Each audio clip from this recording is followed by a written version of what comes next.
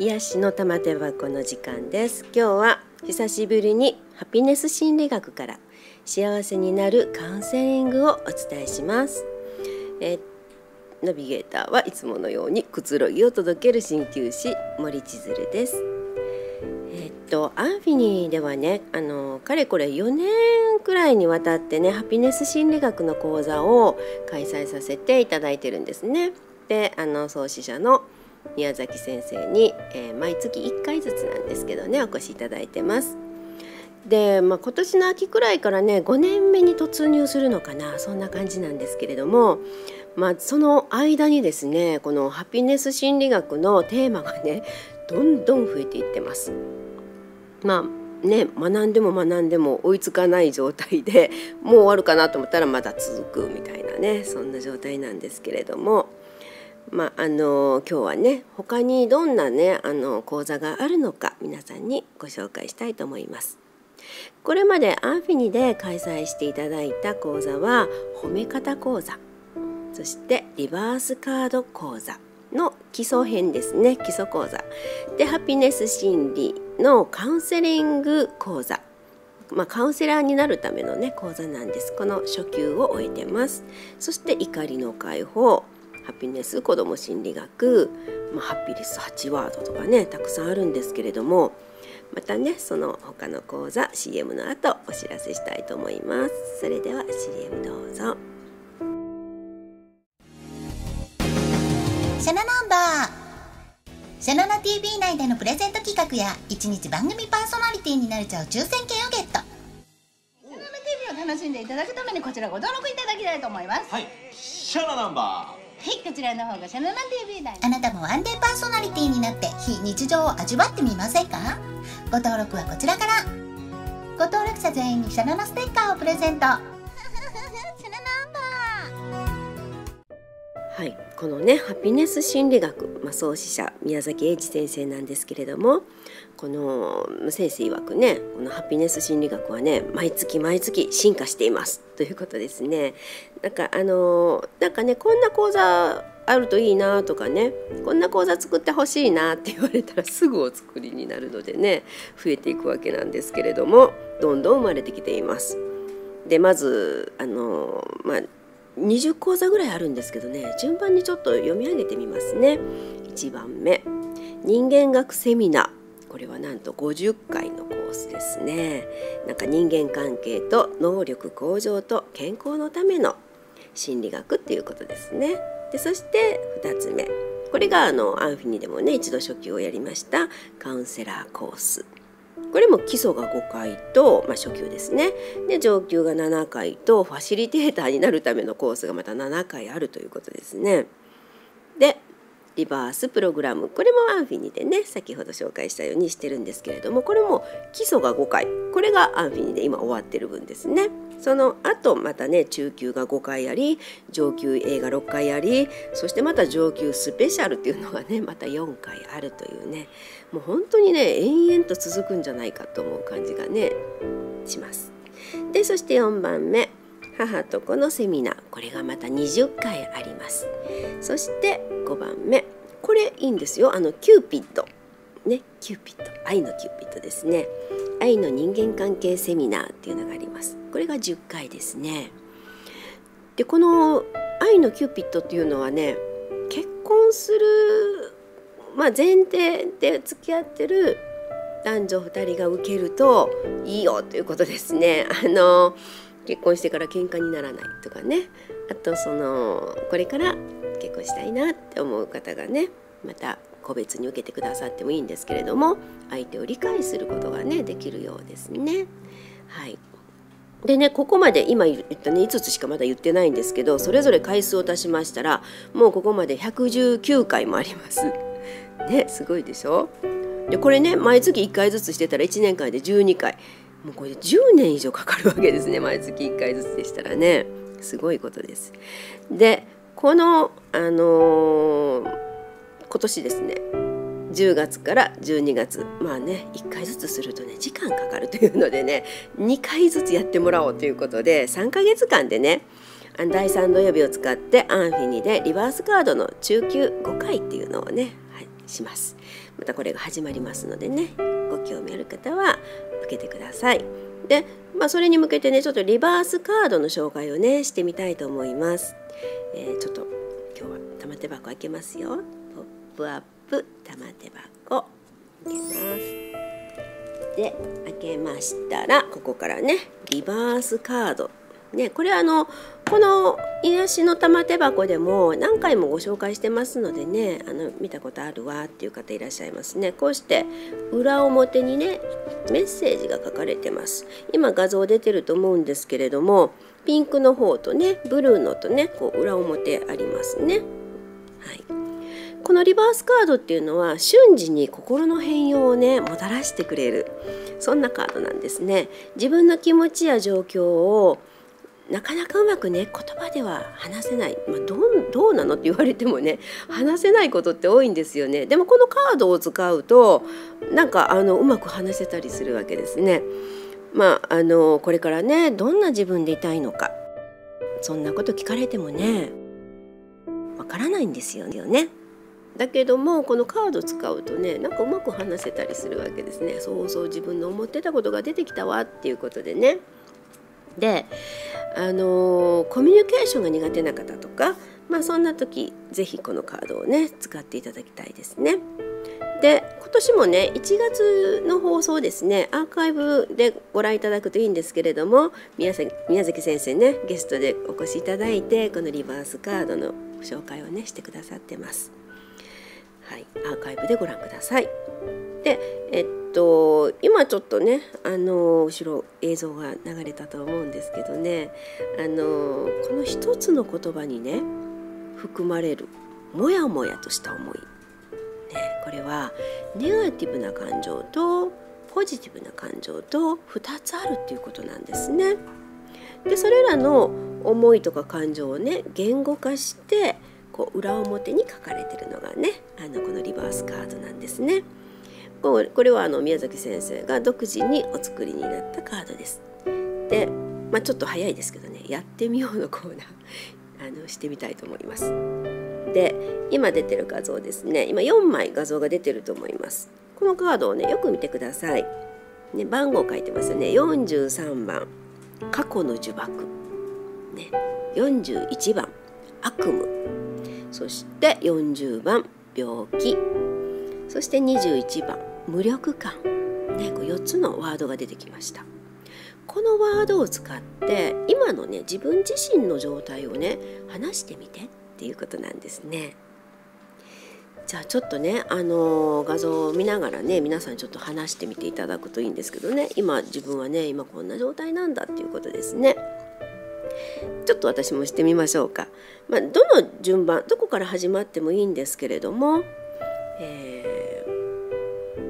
あのそうですね過去の呪縛から始めたいと思いますなんかねあの過去にどうも嫌な経験がねたくさんあってなんかその呪縛からね自分がこう逃れられないというか、まあ、それにこうこだわってしまっててねなんかこうすっきりしないんですよね。でなんか時々悪夢も見るしねもう終わったことなのに時々夢を見るんです。悪夢になってね出てきます。でなんかそのことが気になって気になってもう終わってることなのにねなんか気になって仕方がない。まあ、気を病むというんかね病気になりそうな感じがねあるんですよね。まあ、実際あの心の病気じゃないかって思うぐらいなんかやる気が出なかったりとかあの毎日こううつうつっとしたね 気持ちが湧き起こってくるんですよね。なんかもうそれが出てくるとねもう無力感というか何もしたくなくなってきます。それが今ね私現状なんですね。まあいつもじゃないけどそういう時ってありますよねみんなね。でこのカードをリバース裏返します。はい。じゃあ画像出てねピンクの方になったら今度さっきね43番は過去の呪縛だったんですけれどひっくり返ると未来思考ね。そして41番悪夢がひっくり返ると宇宙の教えになります。すごいでしょ？悪夢だと思ってたのがね宇宙の教えだっていう風になるわけですね。そして40番病気から今度は成長ですね。ね病気だから健康かと思ったら違うんです。成長なんですね。そして21番無力感。これが熱意情熱に変わるわけですね。じゃあこのリバースしたカードでね、まあ、今まではね私はあんな風にね過去の呪縛にとらわれて悪夢を見てちょっと気を病んで無力感にとらわれてたんだけれどもでもこれからはちょっとねあの見方をね変えてみてちょっとこうね未来をこう見つめるようにちょっと未来志向でいこうかなと思ってます。そしてねまあいろんな起こった出来事っていうのはもしかしたらね自分は悪夢だと思ってたけど宇宙のね教えだったのかもしれないんですよね。それをまああの宇宙の教えとして捉えたら私が成長していくための一つの糧だったかもしれないそんな風にこうちょっと見れるようになったんですね。でそうするとなんか気もね晴れてくるというかなんかうつうつとした気持ちが少しこうねなんかあそっかあれはね私の成長のためのねまあうちの教えだったのねって捉えた途端になんか新しいことをまたねやってみようかなっていう熱意とか情熱がね湧いてきました。これからはその未来志向でね生きていきたいと思います。っていうふうにねこれからの決意が述べれたわけですね。こんな風にしてねこのカード使うと今自分がね困っている状況そんなものがねこうまあつらつらと話せるわけですね。でそしてじゃあそれがね困ってることだったらどうであればいいのか未来ですねそのこともまたねリバースすれば話すことができます。じゃあ別のリバースカードですねまた4枚ね使って皆さんもねちょっと心の中でねまあ画面の前でね話してみてください。で次の画像ですね。またこうねネガティブな方からいきます。えー、31番軽蔑、えー、6番反感。そして58番混沌、えー、26番悲しみ。ね、この順番で話してもらってもいいし自分が話しやすい順番からねあの自分の今の物語ですねちょっと語ってみてください。でこのリバース、ね、カードリバースした時はさっきとねあの逆に同じカードの順番でねあの話してみてください。どうでしょうか？ね、軽蔑反感混沌悲しみ。なんかねこれ本当にもう言葉を見ただけでねなんかもう人からね軽蔑されてるような気がしていろんな人のねまあいろいろ言ってくれるんだけれどもすごい反感を持ってしまって自分の中でなんか言われれば言われるほど、まあ、混沌としたもの。でもなんかもう本当に悲しい気持ち誰にも分かってもらえないっていうふうに感じてたんですよねなんかアドバイスされるんだけどいや本当に私のことは分かってないよっていうふうにねいつも思ってました。ね、でリバースします。どうぞリバースしてもらうと、はい、31番尊敬軽蔑がね尊敬に変わります。そして6番反感が需要に変わります。そして58番混沌から大調和に変わっていきます。そしてね26番悲しみが喜びに変わります。さあこれでお話自分の物語を作ってみてください。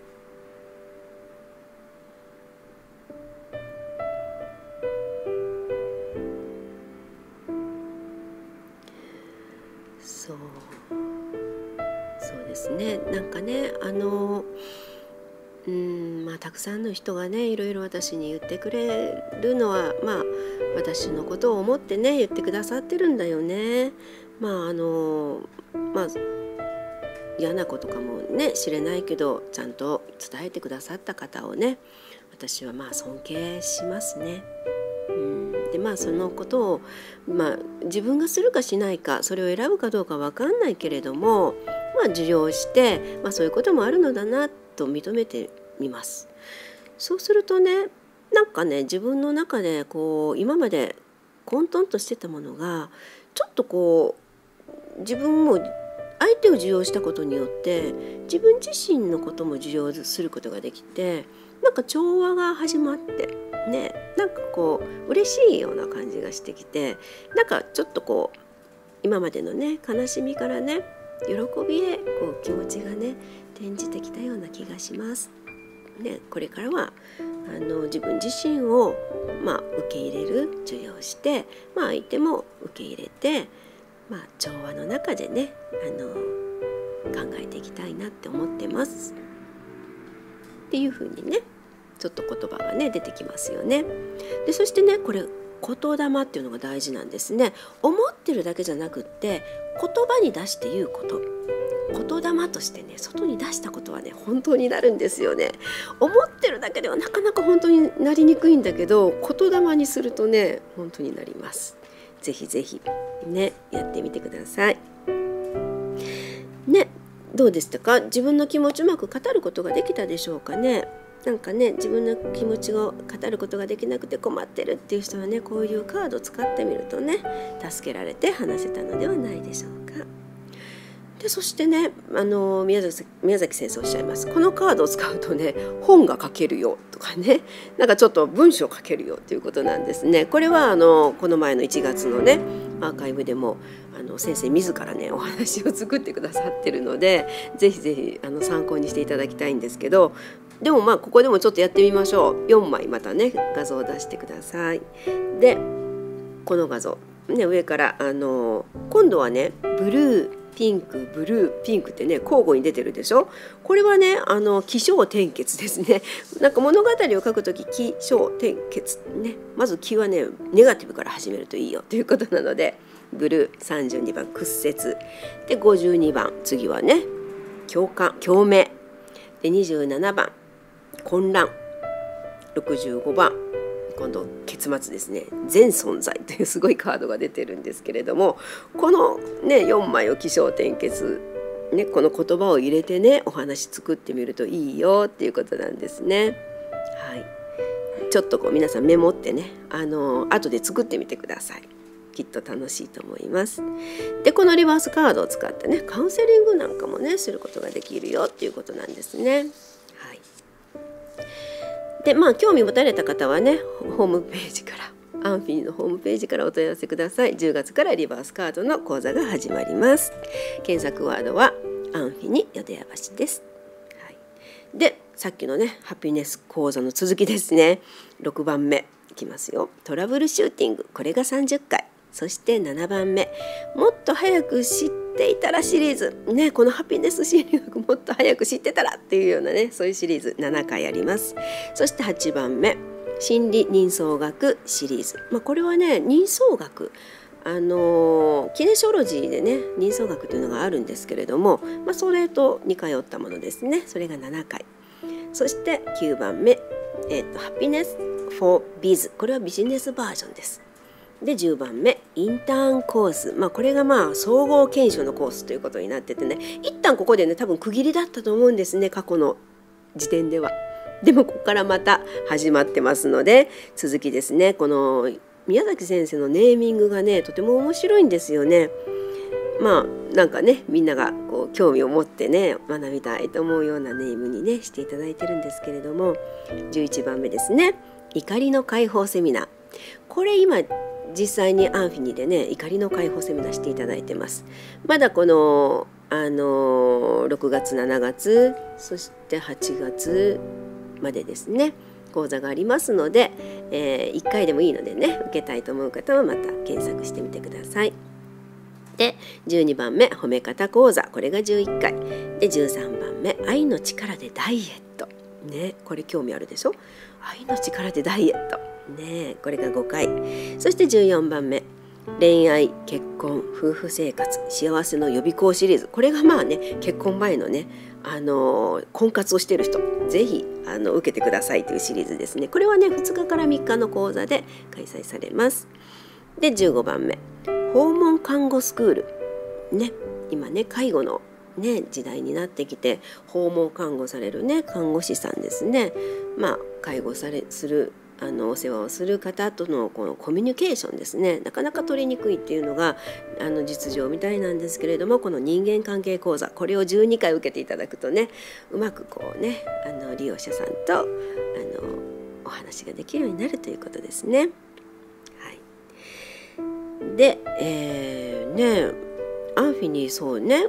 4年かかってね そんなにたくさんできてないなっていうことがここでもうちょっとわかるでしょ？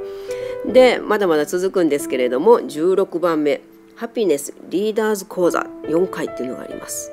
で17番目サクセスアーツマスター講座。これなんでしょうね？これちょっと私わからないんですけどサクセスアーツって何でしょうね、まあ、芸術だということですね。成功も芸術だということなんでしょうかね。これが3回あります。そしてハピリス8要素。褒めて認めて勇気づけ、まあ、これは子供にね子育てをしているお母さん方ぜひぜひあの見てあの学んでいただきたい。5回の講座ですね。そして19番目子どもハピネス心理学講座。20番目子どもハピネス指導員講座。と検定試験というふうに続いてねあの子どものためのねハピネスハピネスというものがね出来上がったわけですね。ね、やっと20まで来ました。そしてこの番外編としてねまだあるんですよ。高齢者ハピネス、ね、介護障害者の方のためのハピネス。そして不登校非行対策プロジェクト。ね、なるものが続いていきます。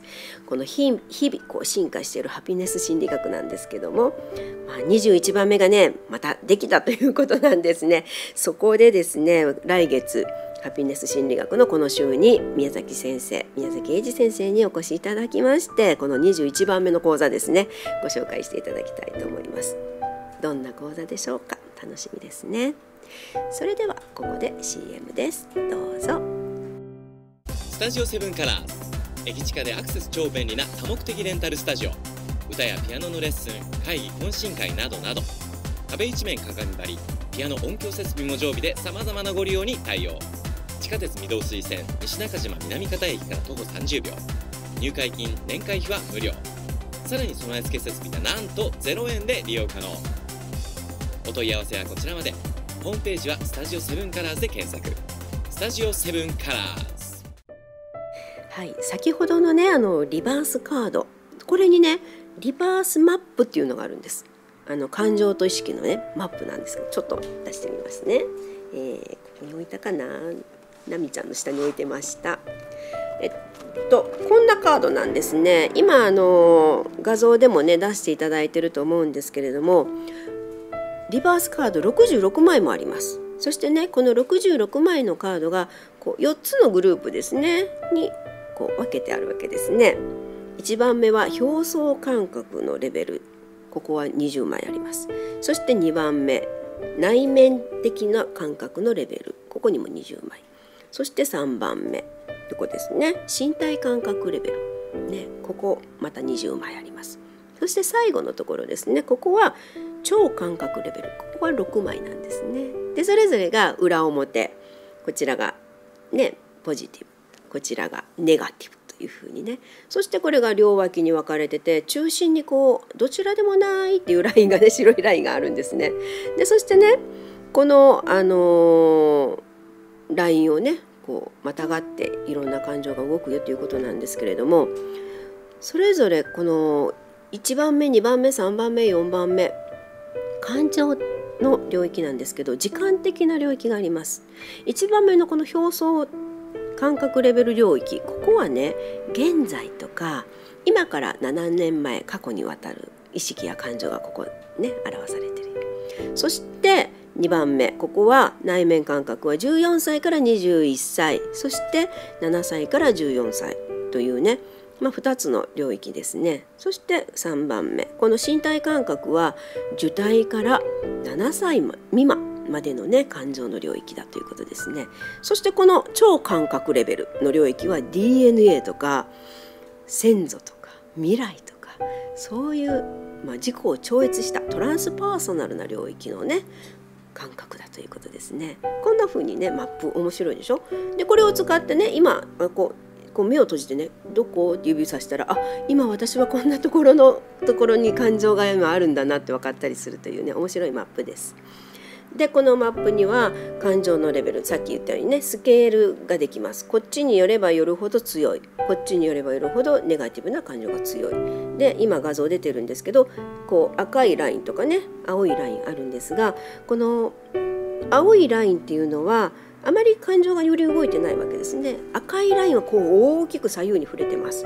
これは感情がね激しく揺れ動いてるということですね。